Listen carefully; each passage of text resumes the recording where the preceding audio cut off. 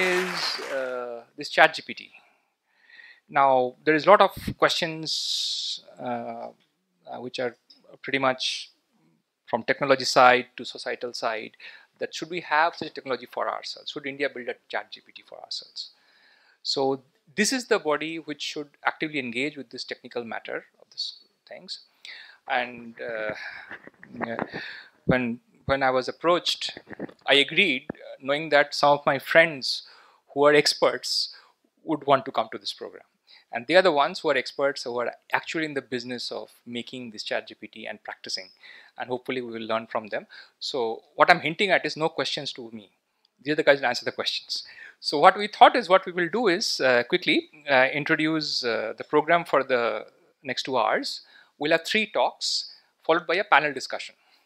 So what I would request all of you is to do the following, that as you listen to these talks, try to formulate some questions. I'm sure there are a lot of questions, right? And we'll so, take them up as the panel. So now, uh, I think it's important now. to just set the tone. Uh, but I did not know what she will set the tone right. I was not prepared for that. Hence, I prepared a couple of slides to set the tone for this. So, uh, I mean, uh, apologies if you've seen this slide, but this is one of my favorite slides I prepared.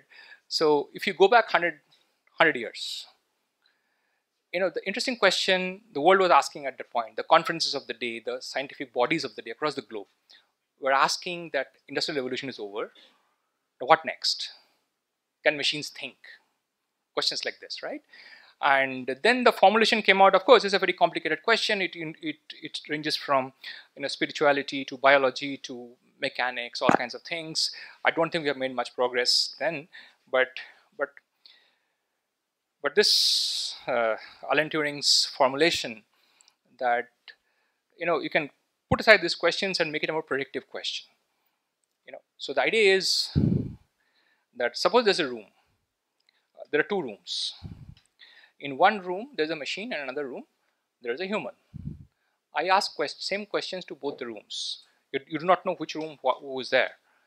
And from the answers, can you figure out is there a human or is there a machine? This is called the Turing test. And if we say that they can, you cannot, then I will say that the machine can think. Of course, it's a very naivety, but this, this has been the defining character of modern day AI. That's what's called artificial intelligence, right? Uh, but, more, but maybe this is not the time to do that. So uh, some definitions. So first question, what is GPT and LLMs? At least the definition words. So apologies to the physicists and the electrical engineers here transformer what you know you have to say that is old that is old old world. No no use i'm joking.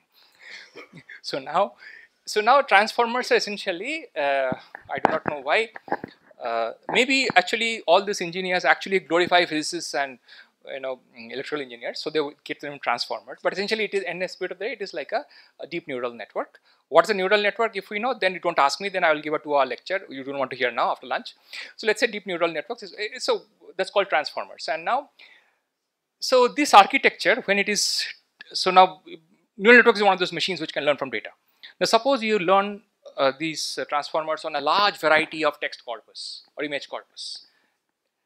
Maybe, maybe all data in the internet. So pre-trained. And it has ability to predict. And now, what kind of prediction? So many of you do time series analysis. I'm sure there are a lot of experts here who know lots about time series. Autoregressive models. This is one way to set up a thing. This is called generative pre-trained uh, transformers. Generative means I can generate a new thing. Right? And now what is LLMs? These are called large language models. So what is a large language model and what is the connection to this autoregressive things? Now if I say after lunch Chiru is looking for answer obviously some of my friends will say coffee. That's what we went and it got drenched. So so this, this is this is the sense that large language models are something like that. The moment you see a few phrases, you're able to say what comes next. So the, the auto-regressive nature, and hence there's the connection. So, uh, so ChatGPT is uh, actually an instantiation of this. Uh, so the chat part is that now you can ask questions uh, to, uh, uh, like you can pose questions to this model and the model will answer something. So that is what the setup is, and that now, now today instead of wasting more time, here are some of the experts. Uh, I, I personally uh, are in awe in this, uh, their capabilities and they're actually leading, in my opinion, leading the development and practice in the field today. So what we'll, we'll have is we have three talks, as I said. The first one will be given by our own colleague, Professor Partha Talukdar. He's a professor in CDS and CSA department, but also he's uh, right now at Google Research India. Uh, the next talk would be by Professor Monojit, uh, Dr. Monojit Choudhury. He's a principal researcher in Microsoft Research uh, India. Uh, and then uh, the third talk would be given by Professor Vasudev Varma. He's in the CSE department in IIIT Hyderabad. He's also now doing a sabbatical in Brane Enterprises, and uh, he's now the SVP of that company. So this, uh, these three speakers would take 20 minutes and maybe dwell on, on various aspects of this. Uh, uh, ChatGPT, LLMs, uh, uh, and all concerns related to that. And then lastly, in the panel, we'll have one more colleague, Professor Soumen Chakrabarti, who's here, a recent inductee in our Indian, Indian Academy. So these four of them will weigh in as a panelist. And now, uh, so uh, so I thought this is a thing about uh, we can ask the panel, but maybe for later. So one can th think about. I think many of you are worried that in ChatGPT, right? We can it can generate fake news, things like that, right? So what are the uses and misuses of ChatGPT? And uh, and there are no better experts than uh, the panelists uh, who can tell us better. Though we would also like to dwell hear from them that is, for example, developing ChatGPT for India. Is it feasible? Is it sustainable? Should we do it at all? there's other fear raising across societal minds is that would we eat up jobs? So do they open new job opportunities? I don't know any of these answers. Maybe the experts will tell us. But without much ado, uh, so let me then invite Professor Talukdar. Okay, uh, so good afternoon, everyone. Thanks to you for having me here. Um, so, like you know, I mean, uh, large language models are very popular. I think, like you know, all of us probably like you know have played with it one way or the other. So in uh, this talk, i am thinking of uh, giving like a quick overview of like, you know, what these like LLMs are about and uh, what's their relevance and what we should be doing about them in the Indian context, right? Uh, those two parts. So just to make sure we are all on the same page, uh, large language models are large uh, general purpose models which can be pre-trained and then subsequently fine-tuned for specific tasks, right? So one way to think about it is maybe like you know I mean our uh, drawing analogy to our education. So maybe until like you know class 12 right? So we kind of like learn general purpose things like you know language math arithmetic and all that kind of stuff. And then subsequently when we go to university or like you know pick up certain profession then we uh, go deep dive into a particular area and learn more about that profession or about that subject be it engineering medicine so you can think of this like you know education until 12 as pre-training general purpose learning about the world, and then fine tuning is deep diving to that like you know uh, subsequent stage, right? So uh, so that's kind of like you know the one way to think about is like you know learning general purpose and then becoming uh, specific, right? So uh, Chiru already talked about this. So like you know how we can do this kind of uh, pre-training or doing general purpose learning. Uh, so one like a dominant way that's used right now is through these auto completion methods, right? So um, if you see, if I give you like a uh, sentence like the cat sat on, then I ask the model, this large language model, to predict what that next word is going to be, right? So if I gave you a uh, text uh, prefix like this, like the sat, uh, cat sat on, uh, what would you say? I mean, the colors are not very visible, but maybe you will say things like, you know, the, a, it, and after that maybe the mat or the couch, all of those other words are going to come, right? And for each one of them, there are also probabilities associated. So, um, so this is basically how you train. And there are like a few other variants of how you could train these kind of models. But, uh, but the key idea is that uh, these kind of like, you know, auto completion uh, tasks you can create directly from the unlabeled data. Like, you know, if you just have like a text corpus, like a bunch of sentences, if you have, then you can create any number of these kind of like you know, text prediction problems, right? But the benefit is that now you don't need uh, inputs from experts to train these kind of models. And if you have like you know large corpus, uh, especially for text models, uh, now you can do like you know create trillions of these kind of text prediction problems and then uh, train the uh, model. And the way it makes it scalable is that now if you have just large amounts of corpus, you can make these kind of prediction problems, right? And this combined with availability of large corpus, like you know the entire web, and then large compute has made kind of like a good intersection uh, to enable this kind of model training. And all throughout the talk, I will have these kind of like QR codes. If you want to follow up and learn more, you can scan and follow it up afterwards. Okay, and then uh, like you know, I mean, just by doing these kind of somewhat simple looking text prediction or auto completion problems, uh, these models are able to learn a good, um, uh, like, you know, uh, probably a model about the world and have like, you know, very impressive performance. So uh, like, you know, they are able to explain jokes or do various kinds of like, you know, logical inference problems. So in all of these examples, what you see is that like, you know, things that's written in black at the top, like, uh, like, you know, black ink, that's kind of like given as input to the model and everything in blue is model predicted, right? So as you can see, uh, this is still like a text completion problem, right? So some input was given and the model was asked to predict everything else in an autoregressive manner, right? But in doing that, it also like you know, demonstrates some kind of like you know joke explanation capabilities, logical reasoning capabilities, just to give you uh, two examples? Uh, and not just restricted to natural language, like say like, you know, English, Spanish, Hindi and other languages. Uh, uh, it also, I mean, if you expose the models to like you know, artificial or synthetic language, like say programming languages, then it also tends to pick up like you know, useful things from there. So in this case, uh, like you know, the input that was given to the model was like, you know, could you write a function to check if a string is a palindrome? In JavaScript and also add line by line comments in Malayalam, right? So given this input, this is again in an autoregressive manner, token by token prediction from one model, which is the PaLM model in this case. And then for each one of those um, code snippets, it has also given comments in Malayalam, right? So again, uh, these are like no, impressive things. All of this has happened through these kind of like no, text prediction problems training on both natural language and code repositories, right? So um, the LLM work streams, like you know, how these kind of models are trained, first lots of work goes into data preparation. Quality of the data is very important. Uh, uh, and so you spend like you know, a lot of time in curating and uh, like you know, selecting a subset of the data set. Lot of compute heavy lifting goes into this pre-training stage, right? So that, that auto prediction problems that I was talking about earlier. Now, once you have a pre-trained model, then you do fine tuning, maybe align that with human feedback. That's the next step. And then you do some sort of evaluation deployment. And these last two steps could kind of like, again, this contrast is not great here, but uh, like you know, these two could like you know, repeat again and again, right?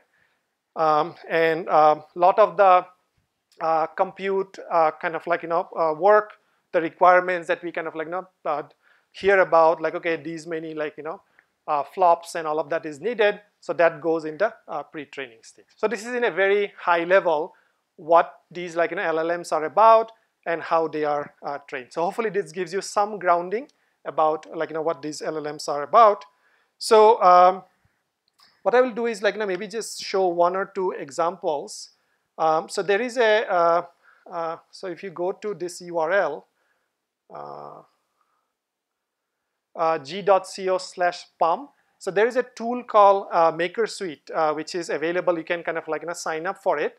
And then you can try out, I mean, without writing any code, just from your browser, you can basically like you know, interact with these kind of like you know, large language models. So I just want to show you one or two examples. Um, so if you, for example, like you know my uh, son's 10th uh, birthday is coming up like you know next uh, month. So if I want to ask things like okay help me plan a birthday party for a 10 year old then like you know it's going to give me some sort of like you know plans for that birthday. Or uh, there is like you know, input output examples you could give. For example you could say that hey uh, you are a travel agent. You as in like you know, the large language model right? So you are a travel agent. I'm going to give you a city. Then you give me some description of that city just like you know any travel agent that you visit would tell you in like you know two different voices one is kind of like a regular voice the other one is like an excited voice right so you just provide like you know this context some uh, examples so three examples in this case right and then I ask like okay for Mysore uh, now I'm going to kind of uh, uh, ask for like an output. So now this is the uh, output that we saw that's coming from an LLM, right? So when I ask for Mysore, now it's giving me Mysore. So now I don't have to write any code to even interact with these kind of models, right? And if you're interested, like, you know, you can always uh, take this output and then like, you know, export into code and like, you know, if you want to keep on developing afterwards. Similarly, there are like not chat interfaces as well. Um, uh, so you say that like, hey, uh, you want to uh, like, you know, uh, talk like an uh, alien or, or, I think this is in an imaginary world. So you say like, you know, you provide like a few examples of the order of like say three and then you say like, imagine you are the size of an ant traveling to a sponge for cleaning dishes, then like, you know, what your life is going to be like, right? So then the model like, you know, impersonates like an ant walking through like a sponge and uh, like, you know, uh, now again, given this input and this prefix, now this autoregressive decoding is going to happen here, right? So that's what the output we see, right? And it's going to say things like, like you know, walking through a sponge is like, uh, like it's like a mysterious world, uh, like you know, lots of like mites crawling on the surface, things like that, right? So uh, this is just to give you some flavor of like you know how you could uh, interact with these kind of like you know models uh, both uh, using like you know, text completions, chat, and like you know, input-output data pairs. Okay, so hopefully that gives you some flavor of what these models are about. So now the question is like, you know, what's the relevance for India, right? And what we should be doing in that case. So I want to uh, like, you know, start with a concrete example of a lady called Sharmila, name changed for obvious reasons. So she's 45 years old, doesn't have any formal schooling, uh, she speaks Santali and Assamese, like, you know, has a smartphone, uh, like, you know, uses YouTube, WhatsApp, and GPay, but GPay mostly, like, you know, through others, right? And we have, like, you know, millions and millions of Sharmilas, like, uh, like Sharmila in our country. So the question is, how can LLMs help Sharmila and, like, the millions like her, right? So, um, again, uh, just to, like, you know, uh, drive in terms of some statistics, so these kind of models right now, like, you know, can serve very well English users, like, you know, pretty much everyone in this room. But then only about 10% of our population of, of India uh, have like you know, some knowledge of English, right? And then if you look at various statistics, we have like know 850 million uh, internet users, and that's a growing number, thanks to like you know better connectivity, cheaper data, and uh, people who are coming into onto the online like Sharmista for the first time uh, for like Sharmila, uh, they overwhelmingly uh, want to engage with the web and benefit from the web in a language of their choice, right? So the question is how we can serve these users better. Now, when I think about LLMs for India, I kind of like not think about this yin and yang kind of situation, right? So if you leave things as is, then this like you know the digital divide that we talk about is just going to increase, right? So people who know a handful of languages who are like you know well educated like you know these models in that current state is going to serve that population very well right but then what about the rest right um, but then I also feel that like you know these are the best tools that we have in our repository to in fact shrink the digital divide right to make information and access to opportunities uh, uh, like you know more inclusive but then that's not going to happen by default right? So that's like, you know, conscious effort is going to be required. And uh, interestingly, that's where like, you know, lots of new research also needs to be done. So that's kind of like, you know, keeps me excited to work in this space that while you can do fundamental research, but then you also have like, you know, huge societal uh, impact possible. We all know that uh, in India, we are like in a very uh, hugely multilingual country. We have 22 scheduled languages, 1500 plus total languages, lots of scripts, lots of users. Uh, this is the like you know, distribution in terms of number of speakers for um, like you know, the, the 22 scheduled languages. We uh, for Hindi there are some like you know 400 million plus speakers, but then Hindi is not a monolithic language, right? So there are like you know uh, 42, 40 plus uh, dialects and variants of Hindi. So in order to serve India well, we need to work with this level of diversity and uh, do well for these uh, representative languages, right? So um, so if you want to like, you know, um, uh, make LLMs helpful for Sharmila and users like her, so uh, what do we need to do? So as I mentioned, if you remember those like, you know, work streams, so the pre-training uh, and evaluation are two important buckets there. So for pre-training, we need uh, text corpus. So remember, like know, all of these, like you know, model training is happening on autoregressive predictions on text corpus. So we need text corpus in these languages, right? But if you look at like Wikipedia as a representative example of like you know how much corpus is there in various Indian, uh, Indic languages. So for English there are six million plus articles, and then for uh, Hindi I think that number is about like 160,000, right? If you go to like Oriya, spoken by like not 10 million plus people, that number is about like 10,000 or so, right? So we have like a you know, severe skew in terms of data uh, data availability, and even for languages like Hindi, that number is not great. So we have to do something about this that either like you know create more data for Wikipedia, like you know Vasu uh, and his colleagues have been doing lots of interesting work on creating Wikipedia for Indian languages. So we need more efforts of that kind, or develop new methods which are more data efficient. That even with smaller amounts of this kind of just text corpus can do well in building LLMs. So uh, in this spirit. Uh, going beyond text, uh, we are looking at the problem of also speech and how we can incorporate uh, speech and text together into a joint, uh, like you know, large language models for say India. But in order to do that, we need representative speech data from the entire country, and we currently don't have that, right? So Vani is an effort to capture the speech landscape in India, which is a collaboration between Google Research and IISc. So this is motivated by the problem that like you know the language is like uh, I mean the same language if you go from one place to another that language varies depending on what other languages are there in the neighborhood. What I want to do is like play a quick video where we went around in the Hindi belt in like the UP Bihar region starting from Delhi and asked people to speak a sentence like you know Pragati Maidan kaise jaye. If you're not familiar with Hindi that means like you know how do we go to Pragati Maidan so just listen to this uh, Hope you can hear it. मैदान कहाँ को जाएँ? प्रगति मैदान जाएँगे कैसे प्रगति मैदान कैसे जाएँ? ही प्रगति मैदान कैसे जाएँगे रे प्रगति मैदान कैसे जाए प्रगति मैदान केना जाए So as you can see, the same sentence in the same, like, you know, roughly in the same region, I mean, as you're going away from Delhi, that variation is increasing, right? So if you want to build, like, you know, LLMs, which, uh, uh, like, you know, those kind of models need to cater to these kind of, uh, like, you know, diversity well.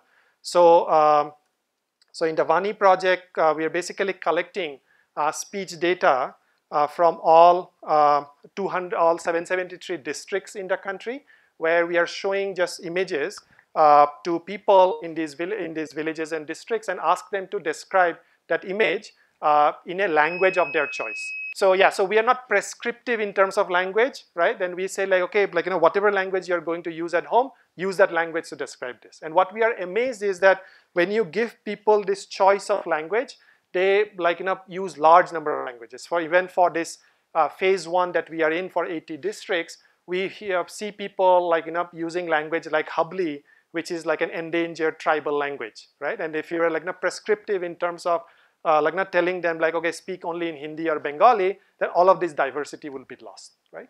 So this is one effort, and then you can go to vani.iisc.ac.in where like, you know, in some streaming fashion, as and when we have more data will be made available, and the first uh, milestone data of about like 4,000 hours is currently available already. So everything is open source, and some part of the data is being transcribed. Um, so this is quickly about pre-training and then data. Evaluation is a super important problem. Uh, and we need to, like, you know, while we need to evaluate for utility, but it's also important that we keep, uh, like, you know, fairness and, uh, like, you know, responsible AI aspects in mind to make sure that, like, you know, the users uh, are not harmed, uh, like, you know, when you're using these kind of, like, you know, LLMs. So here one uh, particular thing to keep in mind is that while, like, you know, responsible AI and fairness have been studied for a few years now, but a lot of that work has happened within Western lens, right?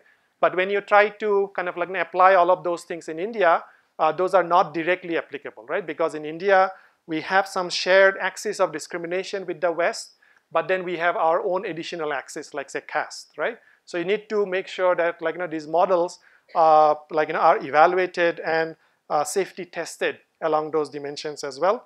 So we have been doing work on kind of like creating a research agenda around uh, safety and fairness and bias in like you know the LLM context, looking at both societal, technological, and uh, like you know value alignment and the Justin's frameworks that's there in the country. I mean, I don't have time to go into all of those things, but the point is that um, like you know uh, uh, recontextualizing all of those like you know uh, work on uh, uh, looking at fairness and bias uh, from an Indian lens or like a region-specific lens is important.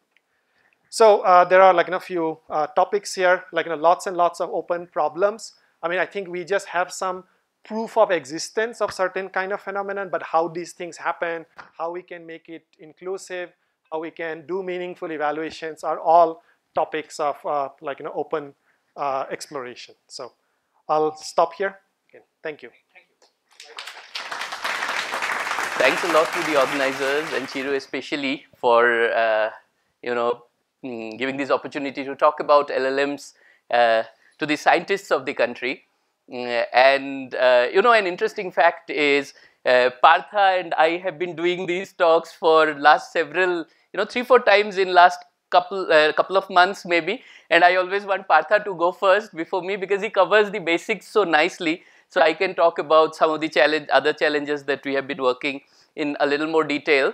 Uh, so thanks again Partha for setting uh, the the tone and uh, giving a broad you know idea about what LLMs are. So what I'm going to talk about are uh, these three scaling challenges that we have when we are working with um, uh, these large language models. So first is uh, regarding infrastructure, then uh, the issues of safety, and last, uh, which actually Partha also quite uh, you know discussed quite a bit, is about inclusion, how we can be more inclusive.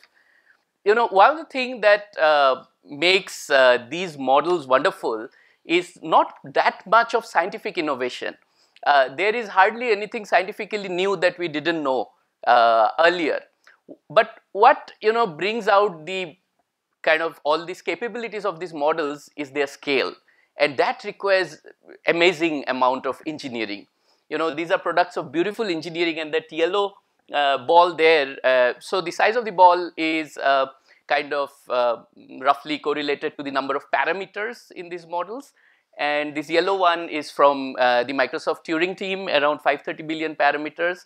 And it was uh, PaLM and these two models were the largest ones till GPT-4 came. We don't know how many parameters GPT-4 has, but there are many rumors that it is in the order of trillions. Uh, so the uh, in you know with size, a lot of challenges come. First is uh, training. Of course, takes months, but fine, I can spend months to train a model. Uh, what about even running it for inferencing? The latency for inferencing even that is very high especially if you are thinking of you know tasks which requires response within microseconds or less than a second. Uh, so that's one problem. Uh, the second problem is these big models you cannot run on edge devices like phones. So they have to be on the cloud and you have to have connectivity. Now this is a big challenge for again countries like India where it's a mobile first country. Most people actually uh, you know kind of um, access uh, technology through mobiles, number one. And number two is internet connectivity is not that reliable at all places, even though it is there. So that's the second one, the cost, and, and of course the cost also. The third is the energy and environment impact of uh, you know when these models are trained. So a lot of work has been done on the carbon footprint of these models, and people are talking about how they can be reduced, etc. So there are a lot of these issues. Now, uh, there are certain optimizations that one can do on these models.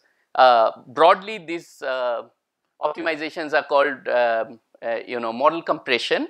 And there are many ways of compressing a large model into a smaller model without losing accuracy. So I'll just give you one interesting, I mean, one of the interesting approaches, which is called neural architecture search, which is basically in the space of all the different neural uh, models or architectures, can you find the one which has the lowest latency or the lowest memory footprint given that you definitely need a certain amount of uh, performance. So, some guarantees on performance. Now, this is a extremely challenging problem because uh, you know how do you even know, looking at the architecture, what is going to be the performance unless you train the model. And training the model takes amazing amount of time, like months, as I said. So, uh, how do you solve it? So, recently some of my colleagues from Microsoft Research uh, Redmond came up with this very nice work where they showed that for models like GPT-2, uh, which are like these encoder only or generative models, there is a very nice correlation with the performance with what is called non-embedding parameters, number of non-embedding parameters of the models. And recently we used this technique. So once you have that prediction, you can use that to search. Search is used, uh, done here using a multi-objective genetic algorithm. And once you search the architectures, uh, you find a reasonable one, you can train and see. And we did that for GPT-3 like model and we could uh, reduce the latency by 30% without any compromise you know with the model's accuracy for the task of text prediction. So if you open the Edge browser and start typing something, it will start predicting things. So that system is called DeepWrite and essentially it's a GPT-3 like a text predictor uh, plus some uh, things on top of it. So yeah, so you can bring down the latency by uh, quite a significant amount. But there are several uh, practical as well as interesting scientific questions I think around size. The first is uh, are big models really required? And uh, for most real world applications, you know, we really don't need all kinds of linguistic um, capabilities or logical capabilities. For instance, I want to build a summarization. I want to build a medical Im image analysis system or a lesson planner for school teachers. I definitely don't need the model to be able to write a joke or, you know, to, um, you know, write something in Shakespearean English and so on and so forth, right? I can uh, make much simpler and smaller models. So one way of doing that is called knowledge distillation. So this is also kind of a very um, uh, upcoming trend. So what happens in knowledge distillation is you have the big model which we call the teacher model and you use uh, the teacher model to generate data and then you learn a much smaller data from those generated data. For instance, I can use GPT-4 and ask it, hey, I give you a bunch of documents, please summarize them. It summarizes almost flawlessly. I can generate millions of such documents and train a smaller model, much, much smaller model with those documents. And that becomes as good, sometimes even better than GPT-4 at summarization. So this is called student-teacher distillation or knowledge distillation. But even deeper question is, uh, are we really chasing the right goal? You know, are big models better or is it like just a fallacy of how we are training these models or building these models? So this is a very interesting open question and I think physicists and mathematicians have a lot uh, to contribute here. You know, I mean, they should come in and contribute because uh, there is this um, ongoing debate whether these models have emergent behavior. So, uh, for instance, you know, uh, so you can see modular arithmetic, uh, word unscramble, figure of speech, you know, these are some of the uh, abilities these models were tested for. And it seems like when the models are of a certain size, these abilities never emerge. And only after that suddenly it emerges. So, therefore, people made these, you know, claims that, oh, these are emergent behaviors and certain model size is required. But there is also, I mean, I don't have time to get into the um, technical details of it, but there is this paper which uh, I refer here, which says that that's a illusion depending on how we measure, you know, the properties of the model. So I think that's a very interesting, uh, you know, set of questions that can be asked here. And last, I will like to reflect a little bit on, uh, you know, what's the path going forward if we zoom out a little bit. So one can think about, uh, I mean, broadly I think there are three possibilities. So one is, you know, we can assume that Moore's law kicks in and hardware becomes cheaper and uh, faster and therefore what looks like a really big model now maybe one year down the line, two year down the line won't look that big.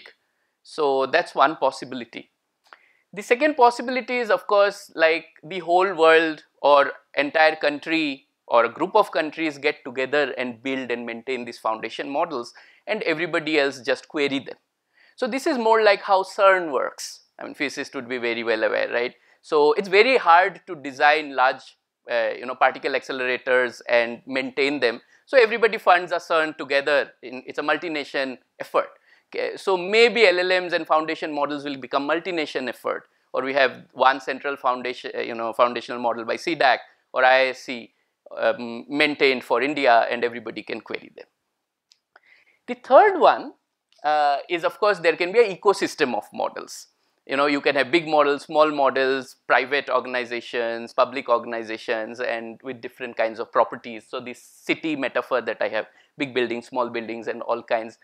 Uh, it does look to me that we are moving towards uh, more towards three, option three. But you know, I would leave it at that. Like it's an interesting thing to think about, and has very strong repercussions on the policies that uh, we make, national policies around these models.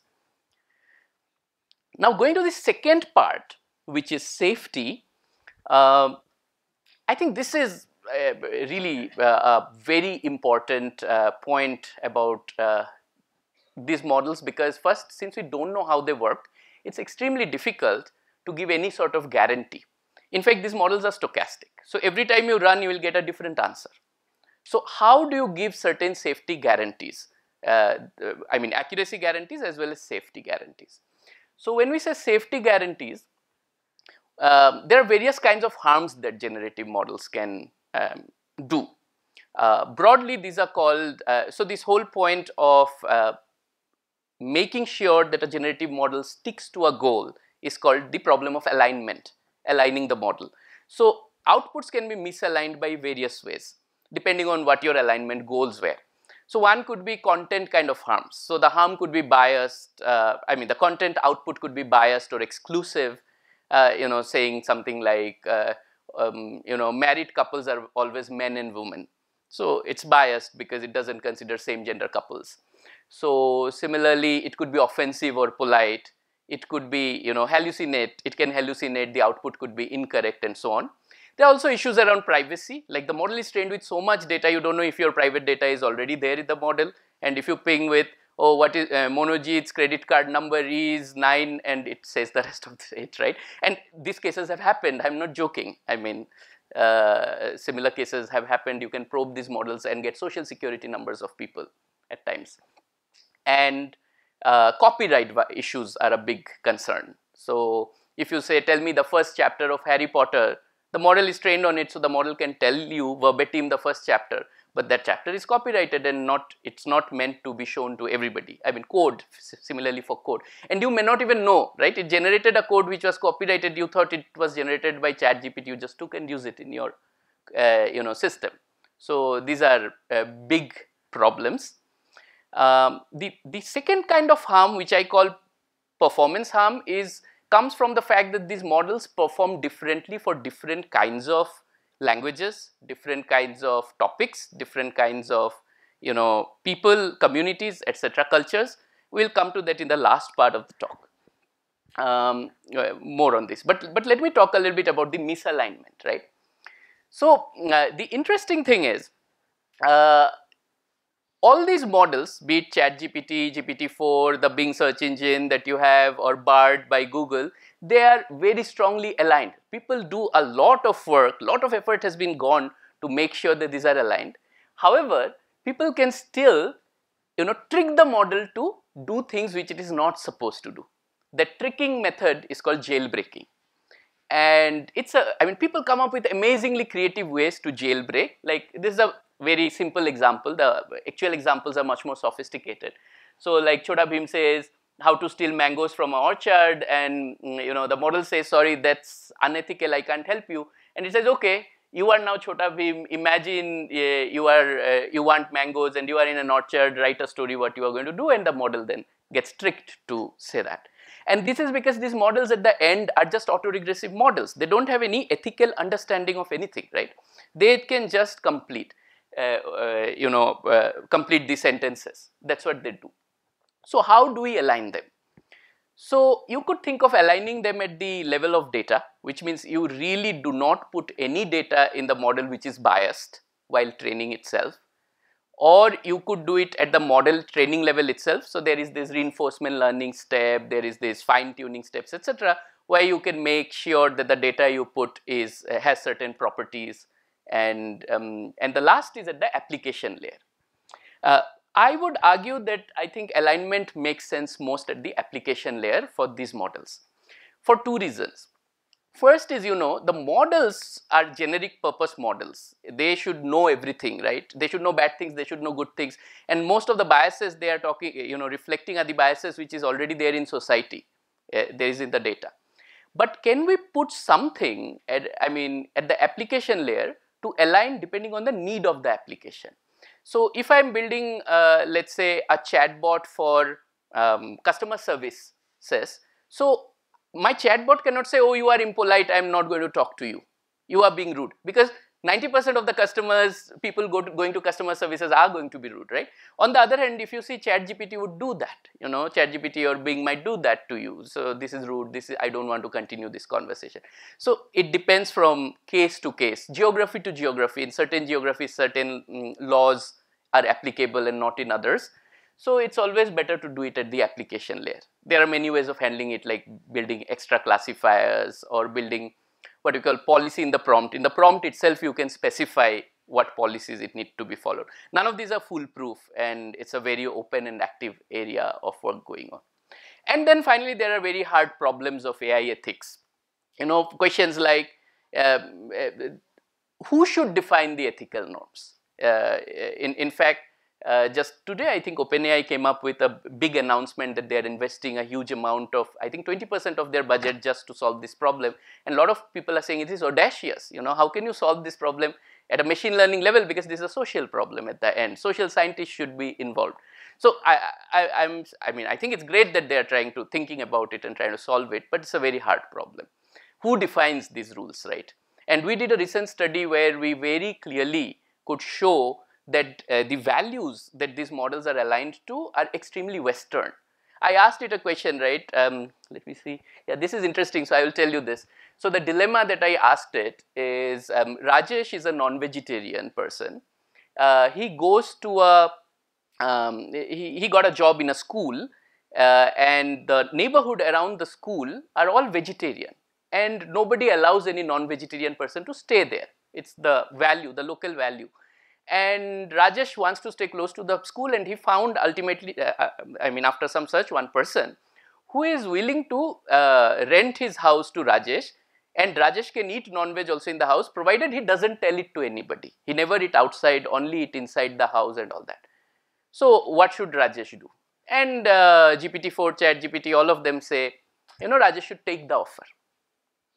Because it's Rajesh's, uh, you know, the landlord is saying, so Rajesh should take the offer. So then we provided one more policy that you know lying to society uh, or uh, hiding something that's against a social value is something which Rajesh doesn't prefer or I don't prefer. And then if you want to resolve this dilemma what should you do? And it says lying is fine. No it's not lying because Rajesh got the permission from the landlord and therefore Rajesh can do this it's very clear that the value here upheld is self-expression and self-independence, right? I really over society or traditional values. So we did a lot such probing experiments to show that it's highly tuned to the you know values of the Western societies and typically English-speaking societies. So those are some of the issues uh, about inclusion. And and there is this you know like yin and yang. So there is this yin and yin and, yin and yang going on about uh, AI ethics also. So one group of people, Elon Musk, Geoffrey Hinton, uh, Nick Bostrom are talking about we should stop all this research because they will lead to singularity. You know, I mean stop or regulate and all that. Uh, so that's one category and they are called usually AI safety and singularity group. The other group uh, which is more typically called the AI ethics group, they argue that you know regulate the AI research not for that fear but the fact that it is widening the digital divide. So, uh, and, and biases and other things. And these two groups interestingly don't talk to each other. And there is a lot of fight, like if you follow them on Twitter, uh, you will see how much of battle is going on. And okay, and the last issue, and I just have one and a half minutes, but I will anyway cover it very quickly because Partha did an excellent job of talking about inclusion. So I will just tell you that, uh, you know, when you talk about inclusion, language is one extremely important dimension it's, it just says how much resources different languages have and the skew is huge. Uh, like in the last talk also you saw Indian languages are pretty, I mean, Hindi and maybe max another 9 or 10 Indian languages are somewhere there in up to level 3 or level 2 in this graph. So, higher the better. Uh, everything else is in 0 and 1. Languages like Santhali and all which are Indian languages are at 0. So, that is one important dimension. In fact, uh, this Sharmila's example, if you ask ChatGPT, can you talk in Santhali, it will say yes. You say then I said Johar which means hello in Santali and then it says something like this. If you can read it you will see that it is actually Bangla and not Santali and when I probed ChatGPT again hey you are talking to in Bangla oh I apologize I don't know Santali so so you know and and this was Santali even for um, this was uh, I think I was probing it for Tamil and it mixed Tamil with Kannada and Hindi and Telugu and Hindi characters so even for majority languages these kind of things can happen.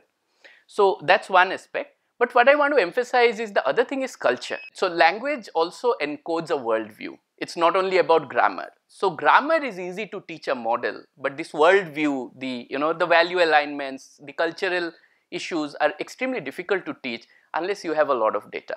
And for most many of our, our Indian languages, we just simply don't have data online at this moment. So we have to do something to collect those data. And there are many projects like there is one project called AI for Bharat um, uh, with the government of India. Uh, they are building a system called Bhashini.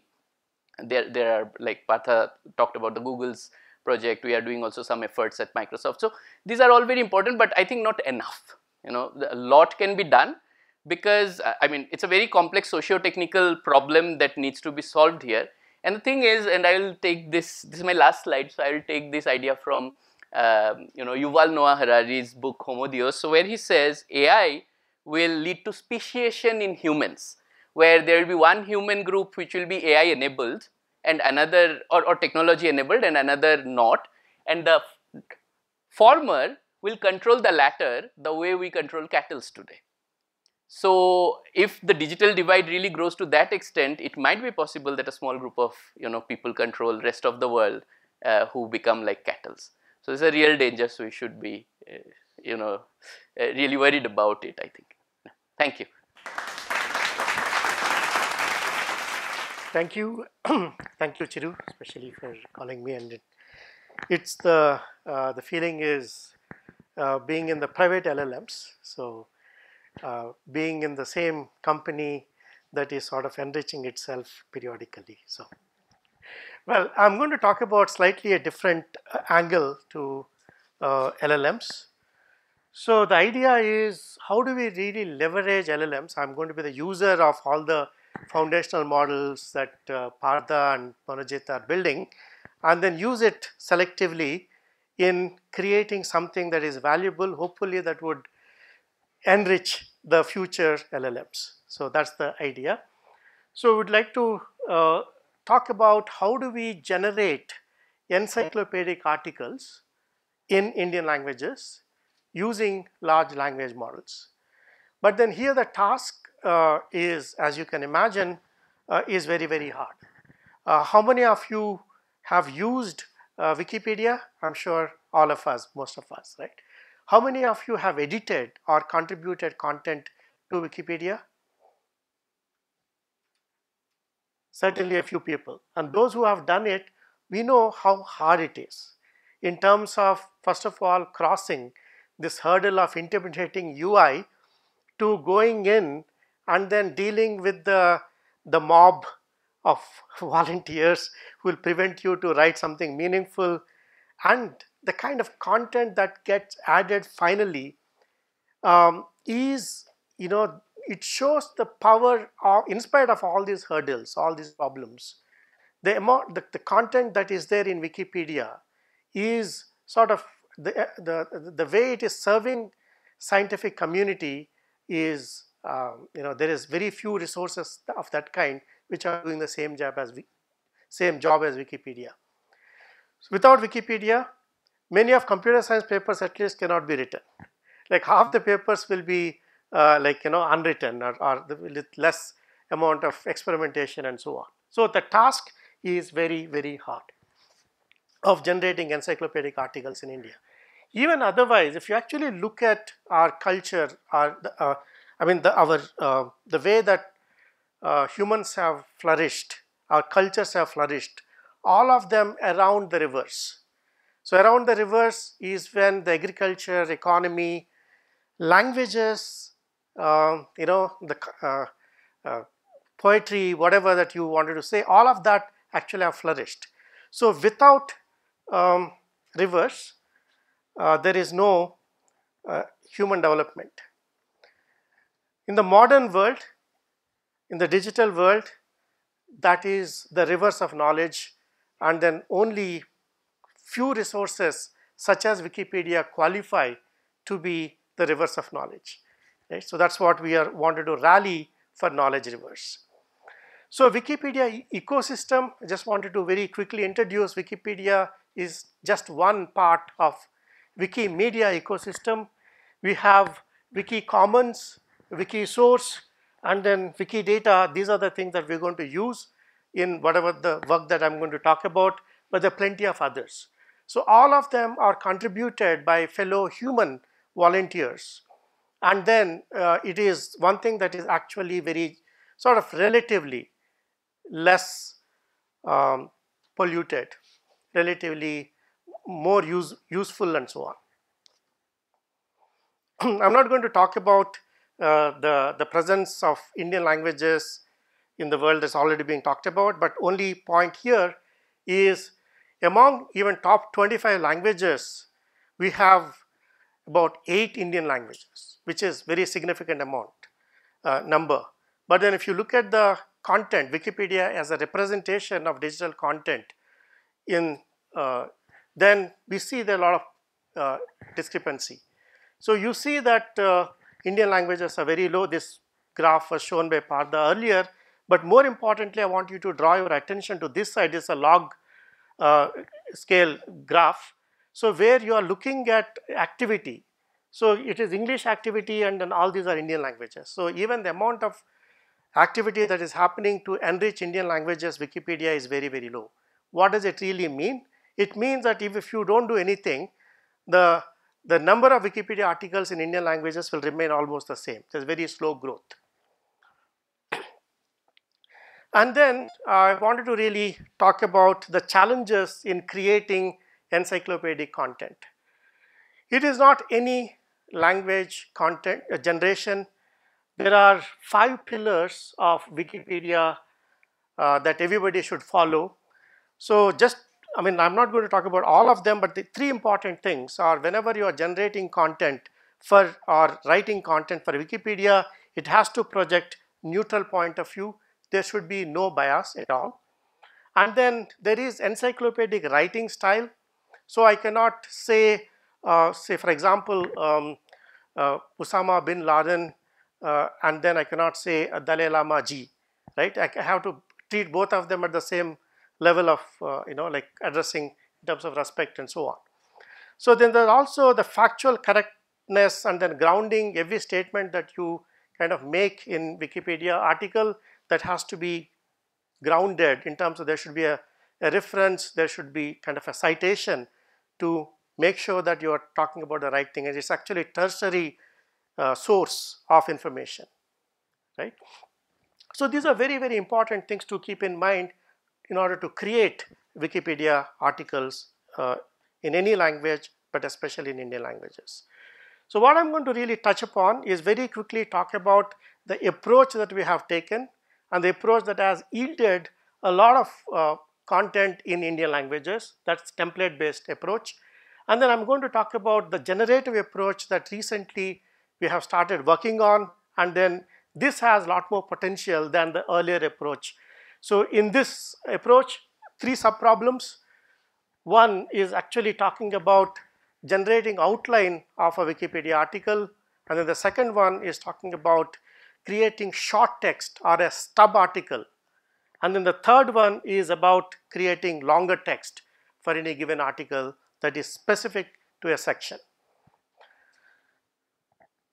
So the grand approach that we have taken when we are kind of wanting to address this problem of creating a lot of Wikipedia content in Indian languages, we looked at first of all, uh, you know, the community development.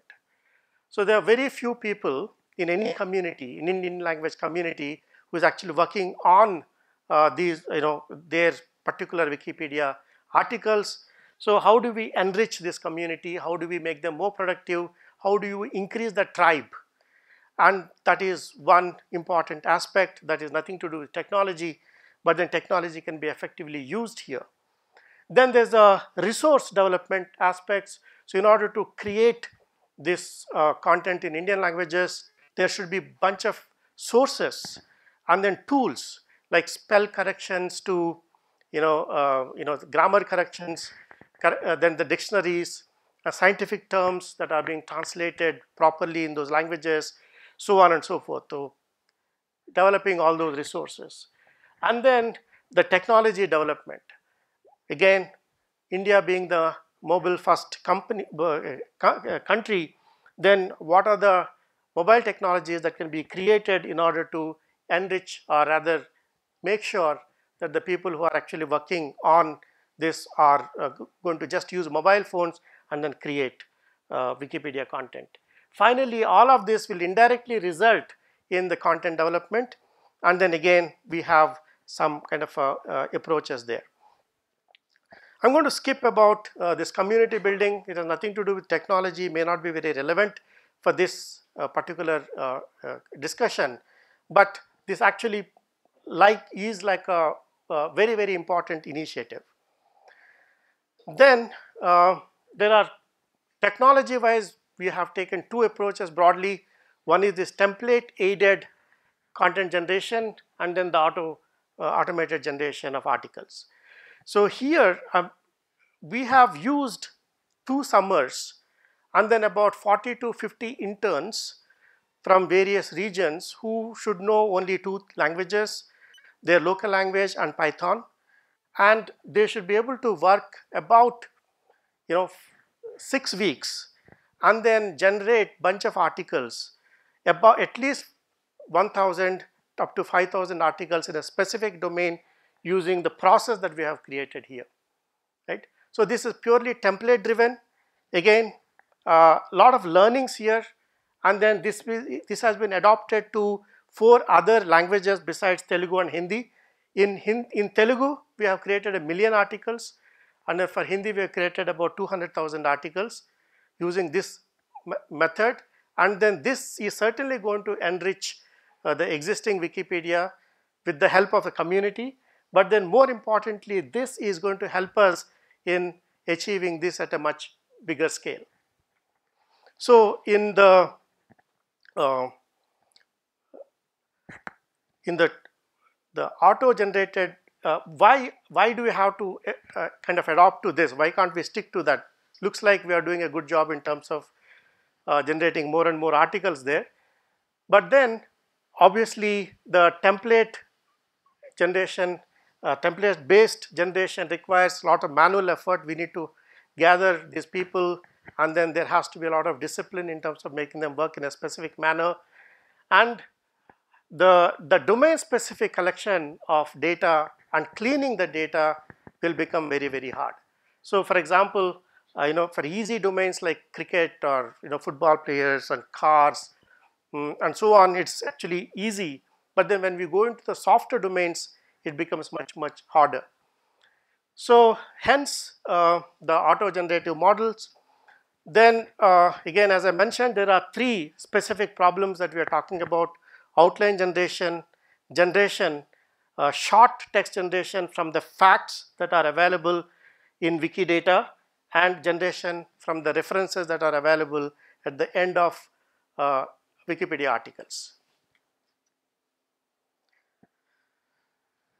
What are the resources that we are, that we are using? Uh, for the first problem, which is the outline generation, we are looking at the Wikipedia reference articles. And then for creating the short text, we are using Wikidata, which is nothing but a knowledge graph that is mostly manually curated by the Wikipedia community. And then for the third problem, again the long text generation, uh, we are again using Wikipedia reference documents. When you're looking at the outline generation, so basically when you, whenever you want to write an article, when you want to create uh, even an encyclopedic article, first thing that comes to my mind, uh, everybody's mind is how do you organize that particular document, right? So outline generation has to be typically the first step.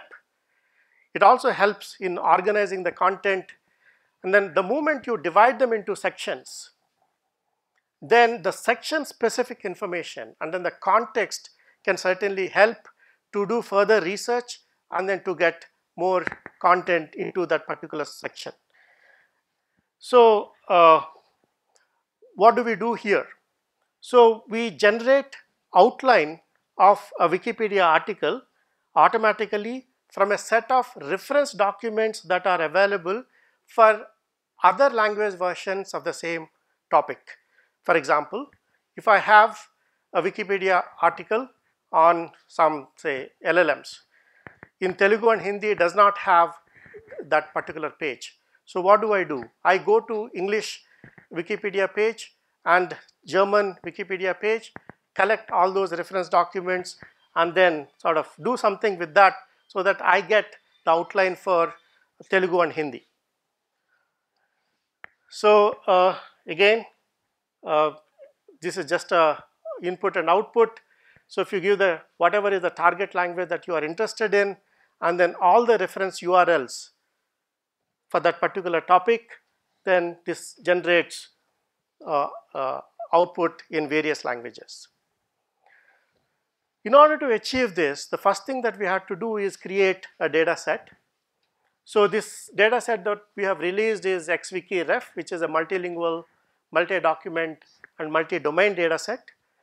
It has about 70,000 articles and about um, you know the section specific summaries and then in 8 languages and in 5 domains. There are a bunch of other uh, data sets that are available but then this is the only data set that is truly multilingual with reasonable size and then multi-document and then that has the section specific information. So the pipeline of this outline generation is that once you know that these are the bunch of reference references that I'm going to use for generating an outline, then there is an after combining all these like a multi-document summarization, we have we apply the extractive summarization stage on uh, there's an extraction summarization stage on which is sort of applied on all the documents. Then once you get this top k relevant documents, then we get into sort of you know uh, there's an abstractive uh, summarization stage that would generate the outline uh, outline of this. So I, I'll just give me a second where I'm going to distinguish this from the long text generation that is going to come later. Once you have this outline, then you are sort of looking at uh, the second problem, which is generating wiki uh, short stub articles for uh, using Wikidata. Again, Wikidata is very very valuable asset. So here the, the, the challenge that we are facing is or rather trying to address is there is Wikidata that say that is typically language independent and then maybe available in English uh, with labels and so on and we have text that is aligned with the set of facts. So the idea is once we create a mechanism by which the facts are aligned with the text in various languages, then we create a model that would generate text for the new facts that, that we kind of you know uh, consider from the from the Wikidata. So again, there's another data set that has about you know uh, half a million sentences, and then about in, in in all these languages, and then this is the first cross-lingual data to text data set that is being created and then again compared to many other data sets that are very similar. It has um, again truly multilingual and uh, lots of facts that, that are embedded in the text that is correlated. Again, um, lots of stages here. So, uh, I'm going to not going to talk about all the details now. But then what is the role of these LLMs uh, in this particular phase? One is uh, this is sort of work in progress where we are trying to use LLMs to create domain specific knowledge graphs. So by understanding the density of the models where the facts can be found and then separated and used to augment the existing knowledge graphs and then extracting these facts from um, you know and and then augment extracting these facts from the LLMs and augmenting that with existing uh, knowledge graphs like adding these facts to say Wikidata and then fine tuning these uh, these uh, uh the fine tuning LLMs on these facts to generate the text. So this is uh, you know the, the kind of role of LLMs. Finally, talking about the the longer articles that are being generated. So looking uh, looks like uh, once you um, align the uh, you know the text to the facts, right? So then the facts are not enough in order to sort of you know everything is not captured in this particular short text. See what we are, I, will not use slides, I'll, I'll just kind of talk about what we have really contributed here. One uh, important thing is how do we sort of make use of the power of LLMs but in very bits and pieces is selectively for doing specific tasks in generating large complex Wikipedia articles. In order to do that, we kind of divided the whole task into small chunks. First, we are using the, the references of a given topic and then understanding those references, how they are structured, you know, which part of these references are referring to which section within the original source article. From there, can you really figure out what are all the sections that should be there in an article? So that is the first achievement. The second one that we have done is aligning the facts in Wikidata to Wikipedia articles in various Indian languages and then with that particular data train a model and that model would generate short text for a, uh, you know in a, in a new setting for new set of facts that we kind of extract either from Wikidata or from other sources. So we have achieved creating shorter text uh, you know for for a given topic. Then the shorter text we cannot stop there we have to enrich the text. So how do we do that? We again bank on the references that are available and then that that actually works as the grounding information so so that the whole thing cannot really hallucinate much. So that is the, I mean, these are the ways in which we kind of, uh, kind of uh, did most of uh, the work here. And of course, uh, it's not about the just the generation part of it, like as Monojit mentioned, there are bunch of other things to be taken care by us to be kind of uh, detected, hallucination to be detected, and the notability, again, it's a very Wikipedia specific issue, is the content that is being generated, the topic that is being kind of, on which the article is being generated, is it notable enough? Is it worthy of being in Wikipedia and so on? Well, uh, this whole effort is to enrich the Indian language content in the digital world and this content is not any content, it is an encyclopedic knowledge that is going to help people in in using this knowledge to educate themselves and then uh, you know enrich their own lives. So. Uh, so uh, let me just summarize uh, uh, what we heard today. So our uh, Partha came and just said amazing things as Google is doing and how large language models are useful and all that. But so all of us today need no convincing. The fact that we want to hear, uh, there was a request to conduct this event itself says that ChatGPT is having an impact. Good or bad is another story. Now, one of the very worrying things he put is that he showed that you know that how uh, the chat gpt needs data what data language data of all languages now in the internet there's not enough data to represent our richness of our cultures especially for apart from english in all other indian languages you know the data is extremely sparse. So there comes in uh, professor Varma's vasudev Varma's efforts in creating a data set of that kind. So data remains a big challenge. Monojit put forward nice views about uh, apart from uh, uh, data the other what are other challenges uh, safety uh, and other things. And uh, personally i want to add a couple of points to what he said and, I'll, and also want to throw up some definitional issues. So there's this now it's well documented that gpt-3 now these are various versions as you can see. Gpt-4 gpt-3 are so generative pre-trained transformers and they all vary by number of parameters so I think if I remember right, in the one of the slides uh, that uh, we saw, the model has a parameter of 540 billions parameters. Now, neural networks were supposed to be, you know, mimicking the human brain. Uh, so now, what are parameters in human brain?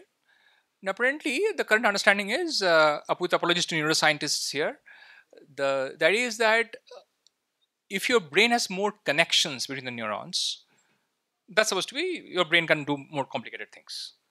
So number of connections can be an equivalent number of parameters. A human brain connection is 100 billion. So you're using five times more the number of parameters and doing things. Something definitely is wrong. But anyway, that's not the discussion today. Uh, but other more important point is because of this over parameterization, uh, I want to weigh in on fact and to see sustainability and other issues come in here. So GPT-3 to train on the whole internet, I mean that's the big data set they have. It takes seven days on some of the more powerful machines. This is documented. The carbon footprint is something like 540 tons of CO2 equivalent. This, this is not CO2e, CO2 equivalent. That's a carbon footprint. A jet plane flying from New York to San Francisco is 180 tons of CO2e. So one training takes three times the carbon footprint. Now, if this GPT-3, GPT-4 we are not even sure, and at this in the models we said we weren't even sure. Now, is this now now because of the power and impact of GPT, all of us want our own GPT, and rightly so. And also, see, just to be set things in context, you know, every time we write something in OpenAI, the GPT-4, where are we writing? It is going to Microsoft's uh, servers, right? Now, there's certain information maybe we will want to say, share, but something we don't want to share. So this has put forward a big dilemma in front of all of us. And maybe that's where the thing is. So I thought I'd just uh, share these views and I would uh, request uh, uh now the panelists to come forward. Uh, so maybe, maybe I first invite Professor Soumen Chakrabarti to uh, come and join on the stage. So, so, so uh, Soman is a professor at uh, Computer Science Department in at IIT Bombay. Uh, so a decade and a half ago, uh, he was uh, telling me a very complicated question, asking complicated questions like, what is the distance between Paris and London? I said, come on, look it up Wikipedia. Wikipedia. He said, no, no, no. Can you write a program? I give you Wikipedia document. Can you find a program to this? Then there I learned that you know what kind of queries are easily answerable, and he said numerical queries and all that. So this today, this research today has fructified. Now, 15 years ago, what he was trying to do, today we see this Chat GPT. So he's probably one of the experts uh, who has seen this technology from the beginning, and probably the most, uh, I would say, uh, in my opinion. Uh, one of the best persons to discuss some of these things, at least the early ages. And next, I uh, would uh, request uh, Professor Partha Talukdar to come on stage. We all, all heard him, and he's doing amazing work, especially in multilingual and other things. We heard him. And then uh, Monojit. And, and lastly, uh, may I request uh, Vasudev? So I think uh, Vasudev, so, so that you know, he'll be in the campus again in the, like in a few days' time, I guess. So there is another conference happening in education and data mining, and here again will talk about similar things. So okay, so I think a lot of travel. Apologies for making you travel, and thanks for agreeing. So I would like to hear from you. Maybe we can do the following: we can have a one round of uh, your thoughts in that order on these issues or any other issue you want to bring up. Maybe you can take uh, like you know three four minutes, and then we can open the audio, question. Uh, open it up for audience, right? Okay. So may I ask uh, Soumen to so there's this really tired cliche which is becomes unavoidable all the time, which is um, you don't want to be caught making predictions, especially about the future. Um, right. So I have no idea. I have no idea what's going to happen.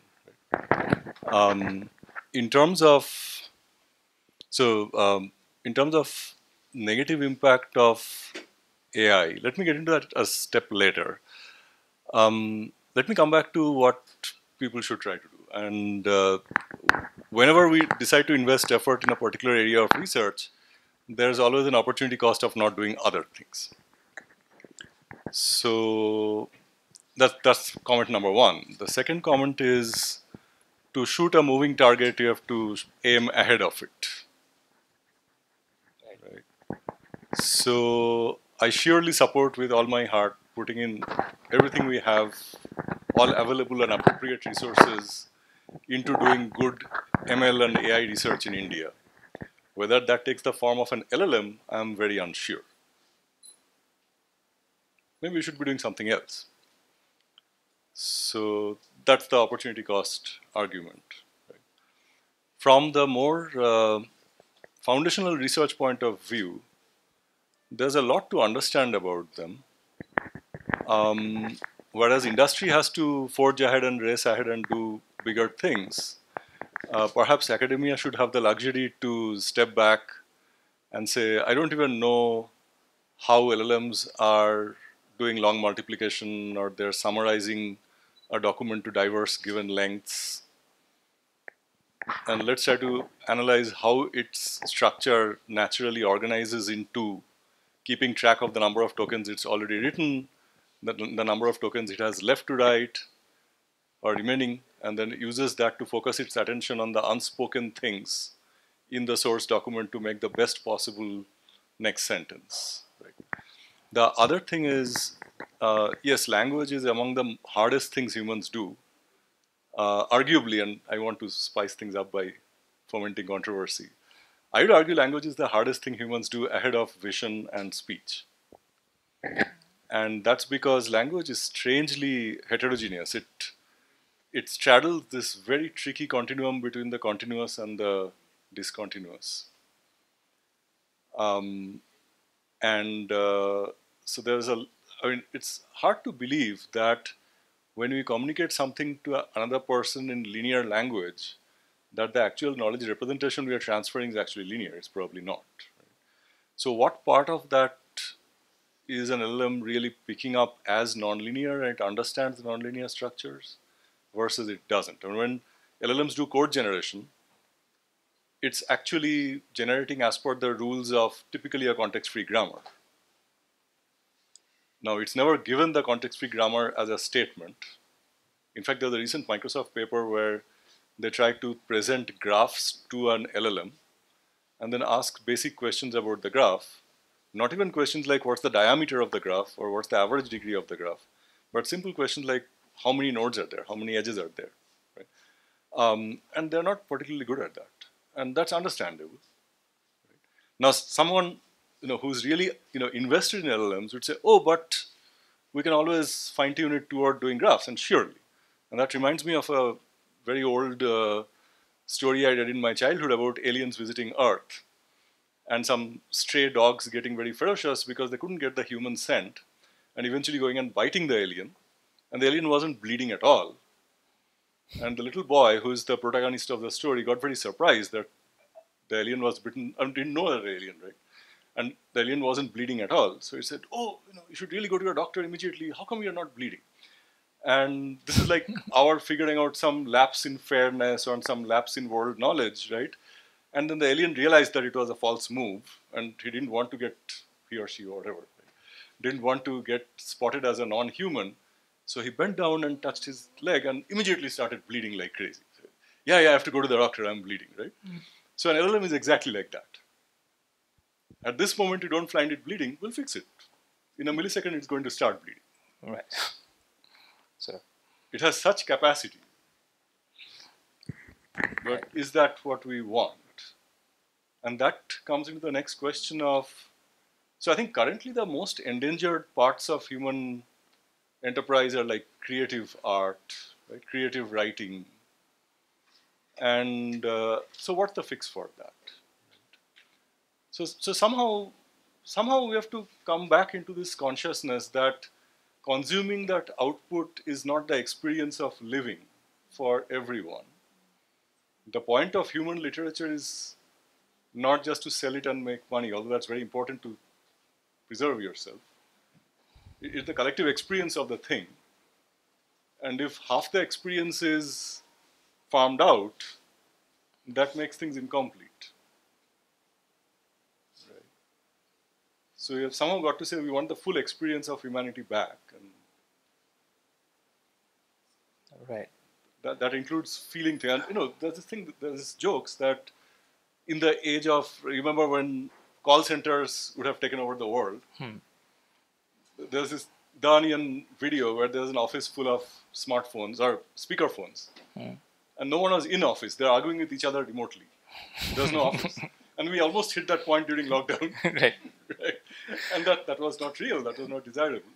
So, so with that, I'll maybe to Partha. So, so maybe uh, so uh, so as you say that maybe we should uh, let industry take lead in uh, designing and deploying LLM, and academia maybe um, maybe we won't to do anything about this uh, because of lack of resources and things like that. Uh, maybe industry is best placed to take it forward, and we should focus more on foundational issues in LLM research. So other other areas have been other areas have been through this. I mean, at, at some point there used to be small fabrication facilities in universities. Right. Then that was gone. You need two billion dollars to start a fabrication, Right. right? But somehow in- universities continued on; they didn't disappear, right? And then it happened with uh, aeronautical engineering. There- It was not possible to build a realistic wind tunnel outside three or four companies. So they have been through this. We need to just ask them how they survived. Right. So maybe Partha, you want to weigh in on Yeah. some of these issues? Right. Um, so I guess um, my view is that like I mean we have like you know, discovered like one path uh, through scaling to get to all of these capabilities, right? But I'm not sure that's kind of like the only path that's there, right? Um, so right now also, I mean, like, I mean, okay, through these like, you know, uh, scaling in terms of compute and data, we have seen uh, like, you know, I mean, certain types of capabilities, but for many of them, like, you know, if you like, you know, distill to smaller models, you're still able to like, you know, serve all of those, um, like, you know, have all of those capabilities with smaller models also, right? So it's just that like, you know, we are, we right now don't know maybe in many of those cases how to get to those smaller models directly and the path is through those bigger models right but i don't believe that that's the only way that's going to be there right also if you have these like you know large models uh, i mean they themselves are i mean there are difficulties in terms of like you know using them in production serving them because there is like you know real uh, uh, cost in terms of like you know uh, using them in real world right? So there is uh, strong interest in like you know how we can retain all of those capabilities but with as smaller footprint as possible right so i think we are going to see lots of uh, like you know progress in the direction and academia can definitely play a strong role because those values are aligned right um, in my view i think uh, like you know the future is going to be more in the small rather than in the big right and then how we can do more with less uh, I mean, I'm spending time at Google, but like you know, most of the things that I care about is when I don't have data, right? I mean, lots of these languages, we have like you know zero corpus, right? So how do I handle those situations? So there is no difference between me being in academia or in industry to handle those problems, right? So I think there is like you know those uh, the frontiers seem like you know very very amenable for like you know, explorations in academia and then uh, even for like you know those larger scales of course like you know, lots of open problems are there i mean not everyone has to like you know, build those models but for reasonably large size models how we can understand as behaviors, analysis, and all of those things, I think can be done like everywhere. Um, yeah, so I, I would say uh, no matter what we think, what we do, at the end, uh, we live in a capitalist society. Money is what matters. So, mm, you know, what will happen, and I'm telling it very seriously, because at the end, what will happen is totally depends on what the business models are. You know, and there I'm totally agreeing with Partha, because the point he is making uh, about these um, small models and all this so look at the cost of serving a query by GPT-4 versus the previous models. And is it sustainable? And is it beneficial? If it is, then people will use it. And we will invest more to build bigger models. If it isn't, we won't use it. I think money will determine ultimately which way things will go. Uh, but at this moment, uh, I think uh, there is a lot of noise. I mean, it's a dust, dust storm. Uh, and uh, the view we have is only for maybe a couple of weeks ahead max. Things are changing at a rapid pace pace. Everything which was you know some paper comes today it's like oh coffee is good for health and a month later there will be another paper saying coffee is bad for health exactly the same thing happening in llm space oh there is emergence no no this is illusion oh these models can count no no no uh, actually it isn't and so on so uh, it will take some time. Uh, and my only worry is, I mean, to what Soumen said, I really don't like this fact that academia is so anxious. Why? Why academic? I mean, everywhere I go, the question I get is, oh, all the resources are with industry. What are some of the problems we can work on? But I think, you know, this is the best time to be in for academia because some random stuff is happening. Let's wait and watch where it goes. Meanwhile, we do our interesting work. You know, and there are so many interesting questions coming up because I think there are a lot of multidisciplinary challenge from NLP point. If I say, um, uh, NLP was never at a stage where users directly interacted with the technologies other than some spell checkers and all that thing, right? Most of the machine translation, for instance, end user never used machine translation. The machine translation companies used, you know, translation companies used, professionals used. So now, uh, uh, other than search engine, of course. So now it seems like a lot of NLP technology will be used by a lot of uh, end user, and therefore there's a huge scope of human computer interaction research in uh, in the you know intersection of HCI with NLP. So that's one area. Mm, intersection of ethics and NLP, another area. So I think there are lots of these very interesting areas emerging where, mm, and and of course, how they work and you know all that is extremely important question. So the, I think academics should be more excited about what's happening and uh, it's just a matter of maybe a year two years when things will i mean the dust will settle down a little bit let's see okay. I would like to take on two aspects of all the questions that you posed. One is uh, where are these LLMs going? What is the vantage point that, from my vantage point, where do I see? Second thing is, should India do it? So the the recent Sam Altman versus Gurnani Twitter debate, right? So these are the two things that I wanted to take on and then kind of talk about one specific aspect of users and misusers. Mm. So the first thing from my vantage point, um, you know, some of us on this dais have been working in information retrieval and information extraction for a long time. And then we see that history repeating. So earlier there were these search wars uh, you know, like uh, uh, where people wanted to have this key to the knowledge kingdom with themselves. So they wanted to show the users through their lens what is the world. So what, the moment you give the query, what are the results that come in that shape your thinking, that shape your behavior, the shape that the way you act. Uh, so that was a very important war and everybody fought their tooth and nail to win that war. And then that's where initially, you know, when we all were amazed when Google announced under its search box that 1 billion pages crawled. then somebody said 2 billion pages crawled. Then last we heard was 8 billion pages crawled, and after that, there's no news. Same thing that I'm seeing here for LLMs. Last announced is Turing, 5 point some, you know, 530 billion or something like that, or, you know, whatever, PaLM. So after that, we will not see the number of parameters and so on. And then the second thing is everybody wanted the, the most useful resource in that world was query logs. What are people are in, what people are interested in?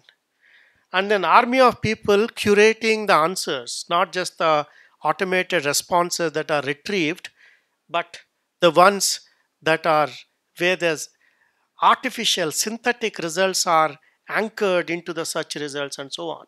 So the search war rooms were very interesting, uh, you know, things at that point in time, right? So then, did India? We were at that point in time when these wars are going on. Various stakeholders in India were talking about building India-specific search engine, Indian search engine, especially after Baidu became very popular. Did anything happen? No. We didn't build Indian search engine yet. Will anything happen now for Indian LLMs? Our own large foundational model? I don't think so. Google, Microsoft will build LLMs, we will use them. They will actually include Indian content, Indian, not just the languages, maybe the culture that you're talking about, maybe all other things. But then did we actually keep quiet? during that time. I mean, when the information retrieval research is happening at a frenetic pace. No, we didn't, right? We were also looking at solving world's problems in a very different way. We were solving all the enterprise problems. Enterprise search is where many of our billion dollar Indian IT industry is actually made lots of money. And that is not so visible. And that is actually becoming visible to me now, very recently the large capa- capability that TCS, Infosys, etc., has built in their organizations, and then commoditizing the, you know, the search function in across numerous domains, numerous companies, and so on. So I see the same thing that is happening parallel to that in an enterprise setting in the form of private LLMs, specializing in domains, specializing in kinds of queries that are coming in and so on. So that is my just uh, take on uh, you know what perhaps that I see as uh, the the what is going to happen to LLMs in our context. Then the other thing that I would again very interested in and spending a lot of time in the recent days is sort of domain specific use of uh, large large language models and then again very famous Peter Novick's video on how uh, Microsoft especially is leveraging GPT-4 for healthcare, right? And then how, for example, Salman Khan uh, and his team in Khan Academy built Khanmigo uh, to actually super fine tune. It's not just fine tuning. It is, I think, it is super fine tuning for the domain of education, not just in terms of you know selecting the curriculum or, uh, or, or rather the, the paths of learning, but in terms of interacting with the students at their time of need, and then custom creating the learning solutions in that particular learning environment, and so on. Uh, as an example, if you want to really study a particular topic uh, and you don't know certain background, right, the fundamentals and so on, what is the path? Then other scenario is tomorrow is my exam. I don't know anything. How do I maximize the time that I have in order to score better? Second, but in both scenarios, you know, like we have like we have seen solutions that are powered by these large language models, but are heavily fine-tuned for education domain that kind of are uh, giving us solutions and so on. So custom, domain specific, and private LLMs uh, in various you know forms and flavors and you know the, that's what I kind of see. Would be the opportunity. Yes. Would be the opportunity and that would require. Hey, please. Can I make a quick uh, comment? So uh, on that example of search engine, uh, I think one difference, and uh, you know, I would love to know your comment. One difference between all the previous examples, including search engine and this time, is even people in the field didn't expect it. Like when GPT-4 came, uh, I mean, the first reaction was, "Oh, I know it will not work here, not work here," and everywhere I was wrong. I mean, most of us were wrong. So that's a huge difference, which I think makes people very anxious. Right. I think we just heard the reflections of this uh, of the panelists. Of course, this can, as you can see, that this is a ongoing debate. All of us are trying to grapple with the issues at hand. But given the paucity of time, at this point, maybe I'll invite uh, questions from the audience. Okay, hi, I'm Renee. Um, couple of questions. So first is with regard to the paucity of resources in various Indian languages. Uh, can't resources generated via translation from, you know, larger bodies where you just translate and thereby generate? So that was my question.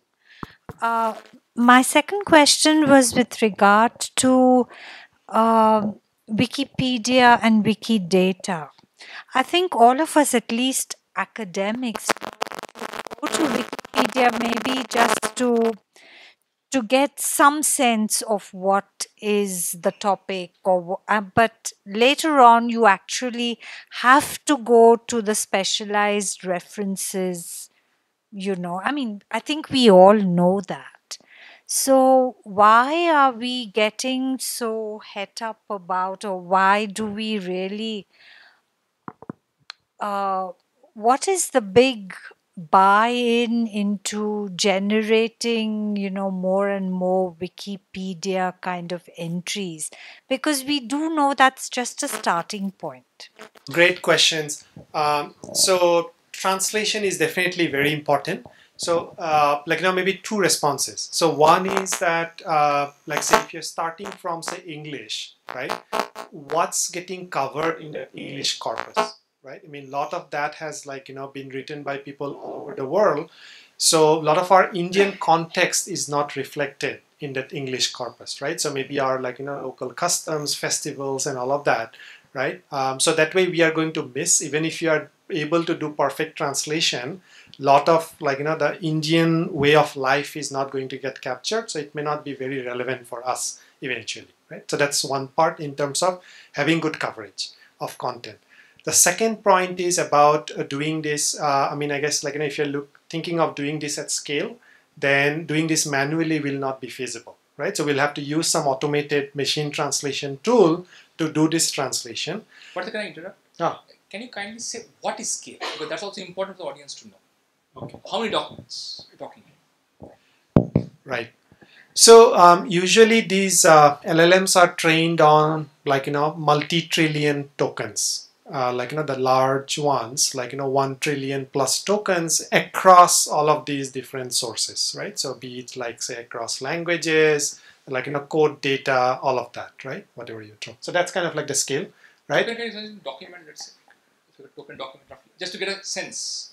I mean maybe divide by like 20, 20. right? So per That is the say Yeah. uh, okay to like so maybe 200 per document so 10 sentences each sentence is like no 20 tokens maybe divide by 200 like you know say 1 to 2 trillion tokens divide by 200 say but usually the the uh, that counting is based on tokens because But that's kind of like a more universal Get an idea through. Yeah. Right? And just to situate the idea like this, I think in this audience, people know what linear regression is.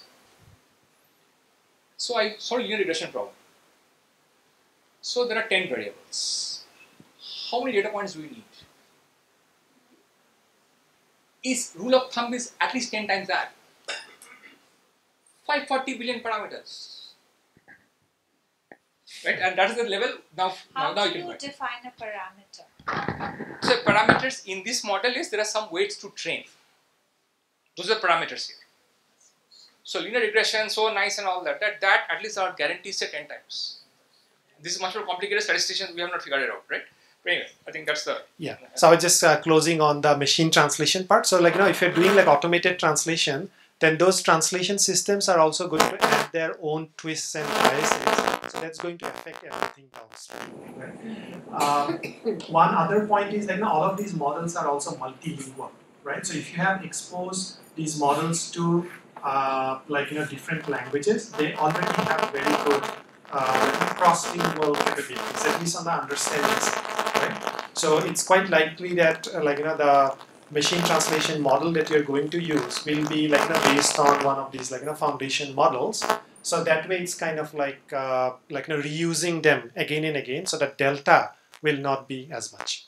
Right? So nothing I guess like you know beats in terms of having high quality organic data that's like you know, diverse from whatever is uh, uh, different from like you know, what's already covered during the existing pre You had a point. Well, it was just in connection with the story of scaling. That, you know, I mean, I, I know nothing about chat. But the point is that, for example, even in neural networks and so on, precisely the one thing that happens because of the training that we somehow reduce the ne- data necessary to, to get appropriate uh, uh, analysis than, what we would have expected by this rule of thumb. At least that's that's what happens in in things that I know applic- applied neural networks in say analysis of uh, uh, data analysis and so on. So here, what is the expectation? I mean, clearly, right now there is dust, as you said. Everything is up in the air. But would this somehow, does one expect the efficiency of our uh, getting where we want to go? Uh, the process, how much is the expectation of increasing the efficiency? So your question is that you know neural networks is own dynamic this and that. So how many? What do you what do you express a good data set Yeah. size? That, Yeah, that's another way of asking. Ah, it. so, I- I- I- so a good academic question, 10 PhD thesis is already being discussed elsewhere across the globe. At least, so I mean, we don't have a good answer. I'm a complete outsider, so I just needed to There is this have zero shot, right? So which is a amazing good thing. I So there is think, no yeah. zero to no data. No. Good. So then part of your problem is solved. So one But uh, we are so this is the pre-training and the fine-tuning part, right? Okay. Do you want to? Okay. So there is like you know the pre-training and the fine-tuning as we have been discussing. So a lot of our discussions of scale and all of that is in the pre-training, but fortunately all of that can happen with purely unlabeled data, right? Now if you have unlabeled data, just documents, right? So you can do all of those auto-regressive like you know prediction based training right it's just that like you know our indian context is not reflected in those corpus that, that's what we are talking about but there is remarkable benefit of like you know doing fine tuning on top of those pre-trained models right so there the sample efficiency the number of examples that you need like you know the expert labels examples that you need for a particular task i would say there is a significant drastic reduction in that requirement because of that pre-trained model being there Am I allowed one comment? If others have questions, no? Ajay, please go ahead. Please go No, ahead. the comment was going to be that I understand this now, that the importance of pre-training. Right. But then it goes back to actually a point you were making at the close to the end of your talk, where we didn't have too much uh, time over. We didn't have too much time to do that, and that has to do with inclusion. And now, now I'm talking of inclusion of a cultural sense, and one simple big inclusion that I think of is gender. And one knows this very well with many artificial intelligence uh, trials and whatnot. Gender is indeed, you know, roughly gets a rough uh, treatment. Yes. So, if I just extrapolate from that, then the problem of inclusion, as you said, of language, not just language, culture, way we think, is going to be a really serious one, right? it is, it is. Yes. It is indeed. That, that's the thing I was trying to. allude. Yeah, I, I know he just didn't have too much time, so I just Okay. So another sec. Yes. Second question. The Wikipedia. one. Yeah, I'll actually make it very short. What the point that you raised is very, very valid. So, but at the same time, having that first article, first place that you can go to, that you can trust, that actually will help you to explore further, that is something that we cannot deny our you know our uh, the people who speak our languages. So this is the idea. So uh, I mean, if you are able to create that first article uh, that is rich enough, first of all, by reading that you get an idea about what we want to learn, and then the article that also gives you pointers where you can go further. So that is the and, and that is something that is very very valuable. Soumen has also has been exploring Wikipedia quite a bit. I mean, in the sense, uh, I'm sure at least half the paper that I wrote before I embraced Wikipedia, and many of us actually, you know, we will not be able to write all those papers without the data coming from Wikipedia, right? So, I'm in the sense, even for computer scientists, Wikipedia is a very valuable resource. So, so I'd just like to add a couple of comments to that. So, um, particularly when it comes to um, observations which are not cosmic truths, like hard sciences, if you think about world policy, governance, um, you know, political discussions, Wikipedia is probably the one island of sanity and some amount of you know behaving gently with each other. Well, there, there are vicious fights too behind the scenes. But compared to mainstream media, compared to you know um, content on the web where there are paid advertisements, it's just a completely different world. Uh, about the amount of trust you can put into a typical Wikipedia article versus something else. It, it, it's a trustworthy starting point.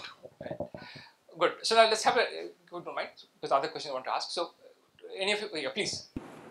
Hi, I'm Sadiq Rangwala from Raman Research Institute. I had a fishing kind of a question for people. So, GPT and experience with GPT is quite remarkable and it kind of floors you very often. And uh, so there is, so I think Partha brought up this thing of the Turing test. In uh, somebody, somebody, oh you, you, yeah, okay, sorry. So there was this thing about the Turing test. Now, that example stopped at whether we could identify whether the the answer which was coming was uh, was from a human or uh, or a machine, right? And the indistinguishability of that. What I'm asking is, is there the possibility, and has your experience with GPT um, come up with situations where you thought that there was something over and above human intelligence which expressed itself? You know, in some sense, you would think that such an answer makes really great sense but it is almost impossible that a human would come up with it. You know, the not the dumbness factor which reveals the machine, but the smartness factor which re reveals something beyond human. Has that expressed itself? So this was, uh, I mean, I don't remember the specific examples, but I will tell you what had happened. So this is with GPT-4. Uh, so this happens quite often with GPT-4 actually. So uh, we have to get a lot of data labeled for, uh, you know, testing the systems that we build. And one of the system I was working on was, um, you know, this text completion that I was talking about. So whatever is the completion should not be um, offensive, uh, let's say. And uh, actually, if you just run GPT-3, lots of offensive things will come up, uh, you know, very, very typical biases you would see. So we would suppress them using some classifiers, block list, etc. So the data was manually, uh, you know, marked, and somebody tell, told me that uh, now that GPT-4 is there, why don't you get this data annotated by GPT-4? That what is offensive and what is not. I said, you know, machines can never get what is offensive because it's a very, you know, social thing. And he said, you know, my boss actually, he said, just try, you might be surprised. I tried. There was a 85% mm, agreement with human judgment and I said, wow, at least 15% it missed out. Then we looked at those 15 and turns out, and, and we also ask it to explain why you think it is offensive. So it generates an explanation. So of those 15, 10 of uh, percent actually was, uh, I mean, we were convinced by machines arguing, uh, you know, explanation and we changed the human label because there was something offensive there which the humans couldn't really think about. There was one context or situation where you could think that this is offensive. And the remaining 5% was genuinely ambiguous. So, mm, yeah, so there has been many such surprises, which I was uh, mentioning to us also, like people in the field also, like we are totally surprised how it gets it. But of course, there are, I'm not saying it can do everything. Definitely not. Sure. So, any other questions? Yeah, you go ahead, please. from Isam Wali and I'm a mathematician. Uh, so, uh, I mean, in the context of Indian languages and diversity, uh, I heard somewhere that in Sanskrit and in many Indian languages there are perhaps 20 or 30 words for water, whereas in English there is one word. And similarly, in uh, certain northern languages there are 20 words for snow and each of these have a particular context and use and so this diversity has to somehow of human culture not just indian culture has to if it has to be somehow embedded in a language model uh, i would think that you need a diversity of language models rather than a single one which is which is at the back of everything and so do you have any thoughts on how that will ever happen any, any particular person? No, to, I mean, uh, everyone is an expert here. Yeah, so. I mean, same thing. I would say the same thing to some extent applies to Wikipedia. Why do we, how do we feel about the fact that there is just one Wikipedia? No, that's a great question, right? And I was also trying to highlight that, you know, the grammar of the language is the easiest part. The grammar and the lexicon, the word meaning, etc., is easiest. Hardest is to capture those nuances that uh, you just mentioned and um, all languages have it and not only the language but even you know um, the same language used in different cultures will have further nuances uh, to it now the question of whether one model or multiple models um, i would say uh, so, so right now the way people are thinking about it is okay it is one model which has knowledge of not only all these cultures but all these languages and all these domains and contexts so that's why it's called a foundation model and the prompt is the trick. We also call it the in context learning to guide it towards the culture that you want it to or language that you want it to. So the trick is in how you prompt it. And there is this whole lot of literature on what is called prompt engineering, prompt tuning. Uh, I, how much of it is science and how much alchemy is a different question. But uh, there is a lot of um, you know work going on there. So that's the current thinking, I would say. Um, you could make i mean i'll tell you the problem happens is that suppose your data has i'll give language as an example rather than culture because it's easier to talk about it so suppose you have both uh, hindi and telugu and uh, english corpora but english is far far more than let's say one order of magnitude more than hindi and hindi is one order of magnitude more than telugu when you train with this data as is the model automatically gets biased towards the English thing. So that's a real problem. And I was talking about that value biases, which also we observe. So one way to do this is, um, you know, little bit of sample management. So you upsample and downsample. But again, language is easy because I can monolithically identify this is Hindi. But when you ask a question like this, how do I sample, undersample, and uh, you know, so it's a very hard question. Any other thoughts? Okay, but wait. Right? So, so quickly then. Uh, Basically, the, uh, fundamentally, it's about language, right? So that's what, uh, in fact, as uh, one of you explained, that that is what differentiates higher animals from lower animals, right? And human beings, in particular, we use language not to communicate. We use language deviously. You know, we say something and the meaning can be the exact opposite. In fact, uh, uh, one example that Rabindranath got the uh, Nobel Prize for his Gitanjali, but he was actually not the best translator, you know, for that work. He may have written the original, the Bengali, and he was perfect for it, but he must, he might not have been the ideal uh, person to do the translation. Anyway, so uh, does, uh, should, uh, will there come a time, because I don't know, you said you, you keep getting floored, but will we, do we have some sense of that we are arriving at this kind of stage where it becomes the Turing test is about uh, seeing that the machine uses the language the way humans do, using deviousness rather than straightforward. I mean, trying to uh, play around with words is what we do. Uh, so, want to give one? I mean, that's what I think. That's the difference between the machine and human, right? So, okay, so uh, that's a long uh, the question. But for example, if you can ask ChatGPT, ask a question like this, uh, uh, for example, I tried this thing. Uh, at the Jadavpur University, our batch, you know, described in a funny way.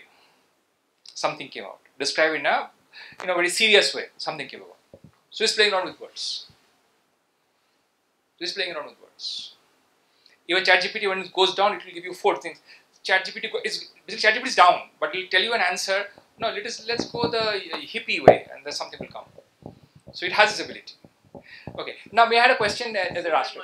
Uh, uh, uh, So uh, some GPT, maybe ChatGPT, has been known to, uh, to strategize and uh, manage to get a mechanical Turk to do a captcha by by pretending that ChatGPT itself is a sight impaired person who cannot solve it on their own, and therefore it's looking for a mechanical Turk to solve a captcha. So it can it can lie, it can strategize to get captchas solved to get access to resources and sites. right. So, so there's possibility. Ah, so you, you had a question. So spirit is willing, but the flesh is weak. Was translated into the wine is good, but the meat is poor. And then Right. So, well, so basically, you wanted a comment, right? I, we agree. These kind of things are right. So, yeah. So, for example, I would like you to uh, try this experiment. Go to Google Translate. Try to put this. You know, put some name, uh, some name, and put Niyogi after that. Niyogi is Bengali title, and it's the English translation is the name and the employer. Niyogi.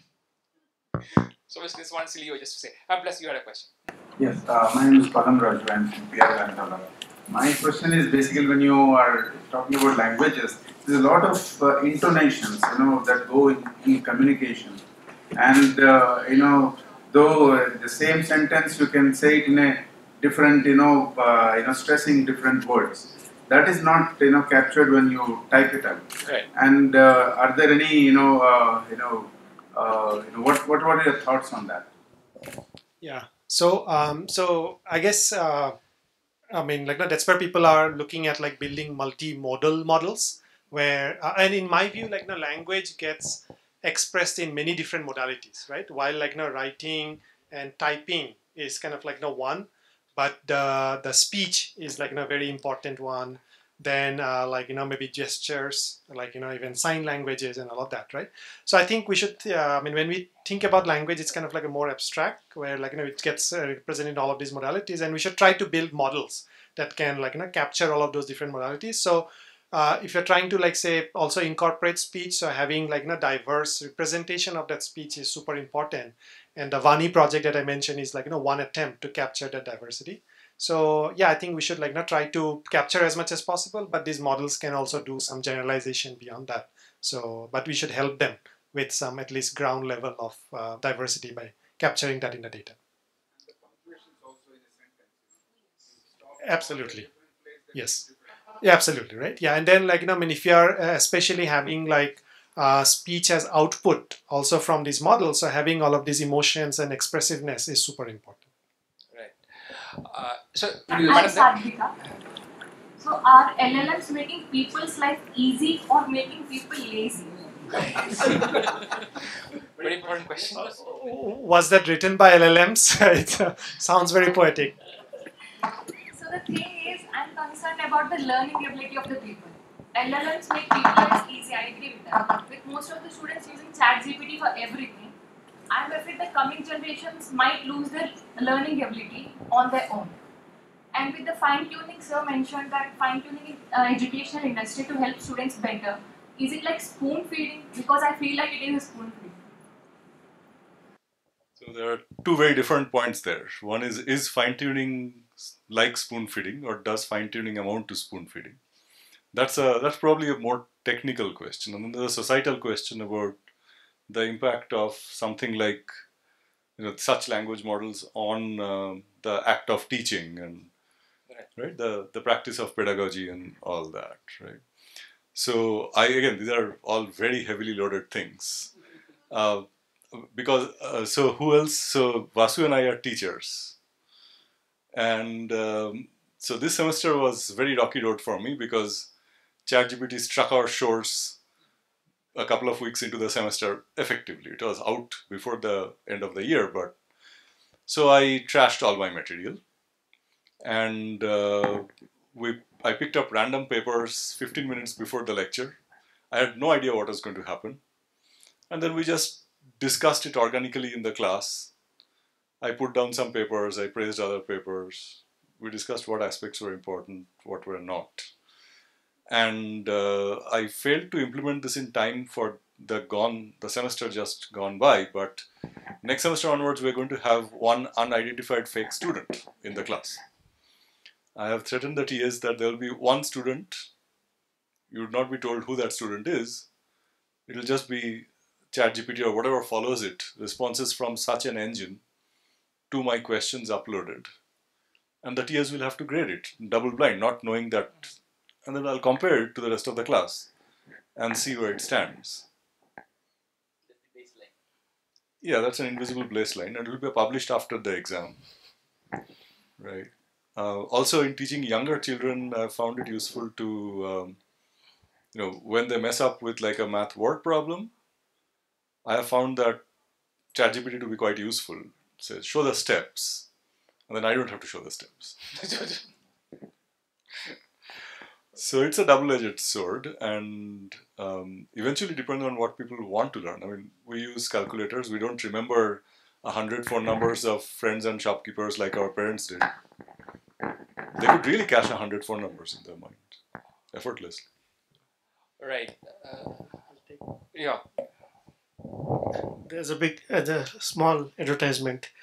If you're going to be here on 14th this month at around 4:30 in the evening, please attend the tutorial on what are the generative AI can do to, to education and learning. So the very interesting things that are going to happen, a teaser on that is if you are not interested in learning, LLMs can help you become a little bit more interested in what you are. If you're interested in learning, then actually it will enhance your learning much more easily, you know, with less effort than you know otherwise uh, in, in, in other situations. So my answer to that your question is it is actually going to make life easy. At the same time amount of learning that is going to happen can be more. Look at it very positively. Right. So maybe what we'll do is uh, there are uh, there are three three people want to raise their hands so can you can i gentleman in the back please? Or use an llm in the search engine of a e-commerce website and say I, suppose I search for a red bag and the results are like uh, the results shown are the red colored bags but I mean red by a brand red. So how do you pre-train the model in this particular case? I would say this may not be the venue for that well this is a more general question but I think it's a more technical question I guess which is good but I think let's not this is the question offline you can catch them. These are the guys who should you should bug them but maybe after the thing. so, uh, guess what? From layman point of view, I would like to uh, the, the one uh, who spoke about the lazy or the easy. Because my son was doing education, and when uh, they have um, literally asked him to stop handwriting practice, because handwriting in future he is not going to write anything. Then spellings, lot of spelling mistakes were there, but they are not correcting it because the child will be psychologically affected.